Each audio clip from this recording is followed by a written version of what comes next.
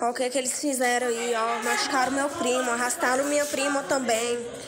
Isso aqui, ó, nós estava dentro de casa, arrancaram o portão, bêbado, embriagado, fazendo gracinha. O vídeo foi feito logo depois do acidente no bairro Jardim Esperança, em Anápolis. A prima das duas crianças de 3 e 9 anos contou o que aconteceu. Um jovem de 22 anos dirigia embriagado quando perdeu o controle do veículo e subiu na calçada onde as crianças brincavam na tarde do domingo.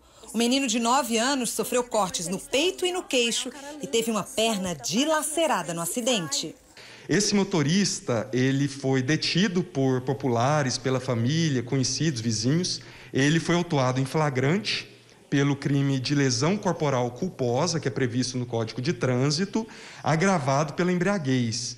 O teste de bafômetro dele indicou o teor de 0,97. É importante ressaltar que a lei considera crime, esse é um parâmetro técnico, é 0,33 miligramas de álcool por litro de ar. Isso é considerado é, o patamar de embriaguez. 0,97 já é definido pela medicina quase que um coma alcoólico. O menino foi socorrido para o Hospital de Urgências de Anápolis, mas por causa da gravidade dos ferimentos, precisou ser transferido para o UGOL em Goiânia. A prima dele, a menina de 3 anos, sofreu ferimentos leves e foi encaminhada para a Santa Casa de Misericórdia. No mesmo final de semana, um outro acidente envolvendo embriaguez ao volante foi registrado em Anápolis. As câmeras flagraram o momento em que um motociclista de 36 anos é atingido por um carro na Avenida Pedro Ludovico. Um motociclista, ele transitava pela Avenida Pedro Ludovico, é uma das dos mais importantes acessos aqui da, pela cidade de Anápolis. É, quando um, um, veículo conduzido por um motorista embriagado tentou fazer uma conversão, não parou e essa moto atingiu esse carro em cheio. Esse motorista ainda tentou fugir do local, mas foi detido por populares que também o agrediram, tentaram linchá-lo. É, ele também foi autuado por esse mesmo crime.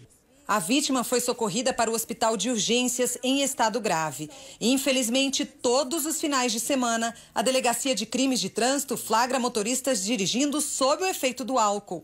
Na operação do último fim de semana, foram 53 flagrantes e 10 pessoas foram presas. Do início do ano até agora, só a equipe da DICT fez quase mil flagrantes e prendeu 124 pessoas. Uma pessoa que assume a direção do seu veículo é, após ingerir álcool, depois de tantos anos de lei seca e conscientização, ela sabe do risco que está produzindo. Ele é um criminoso muito mais perigoso do que um assaltante com mão armada, aquele que te aborda na esquina ou na sua casa com um revólver para levar o seu celular, a sua televisão ou o seu carro. O motorista embriagado, ele leva a vida do seu ente querido.